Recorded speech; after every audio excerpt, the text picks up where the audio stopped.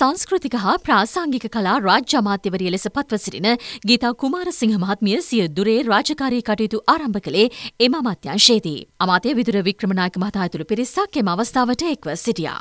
මට උපරිමයෙන්ම සේවයක් කරන්න මම විශ්වාස කරනවා මට අවස්ථාවක් ලැබෙයි කියලා. අපි රජයක් හැටියට පුළුවන් තරම් ඉක්මනට මේ ජනතාවට අත්‍යවශ්‍ය දේවල් ටික ලබා දෙන්න ඕන කියන එක මම තරයේ විශ්වාස කරනවා. මට ඇමති ධූරේ ආභරණයක් නෙවෙයි. මේක මට කටුවට උන්න. සමහරුන්ට නම් ලොකු වෙලා ඒක ඒකෙන් කාලා බීලා ඒව විනාශ කරන මිනිස්සු නිසා තමයි මේ රට විනාශ වෙලා තියෙන්නේ. හැම කෙනෙක්ම හැම සතයක්ම ඉතුරු කරලා හැම සතයකින්ම ජනතාවට උදව්වට වැඩ කරනවා නම් මේවා අවභාවිතා කරන්න හොඳ නෑ.